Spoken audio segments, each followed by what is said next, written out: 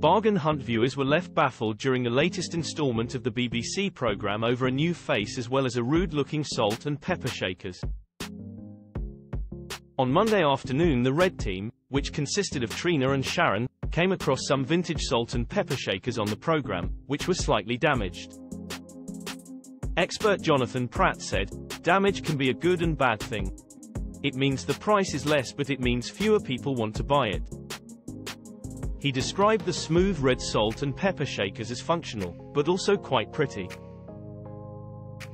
When the dealer in the antique shop said they might get £55 for the items, the red team decided they wanted to leave them and move on with their hunt for gems. The expert added, I think the damaged one is a real shame, it's the salt that's damaged, isn't it? He quipped, it's been assaulted.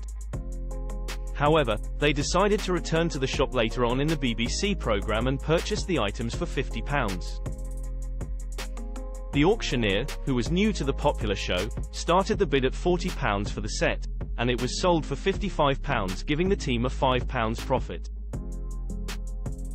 The duo ended up beating the blue team who left the show with minus £97. The winners won with a £3 profit, and appeared thrilled to beat their competitors. However, fans were left distracted by the salt and pepper shakers, as well as the new auctioneer as they watched the program. One viewer penned, the auctioneer is a bit shouty, isn't he? Hashtag bargain hunt. Another shared, aye aye, what's all this on hashtag bargain hunt? Salt pepper or a pair of butt plugs? Mick added, he's got some lungs on him hashtag bargain hunt. Lynn shared, is this fella Brian Blessed's love child, got a headache hashtag bargain hunt. Another fan noted, ooh a new auctioneer hashtag bargain hunt. A sixth viewer added, hope this new one better than the usual useless ones hashtag bargain hunt. Bargain Hunt episodes are available to watch on BBC iPlayer.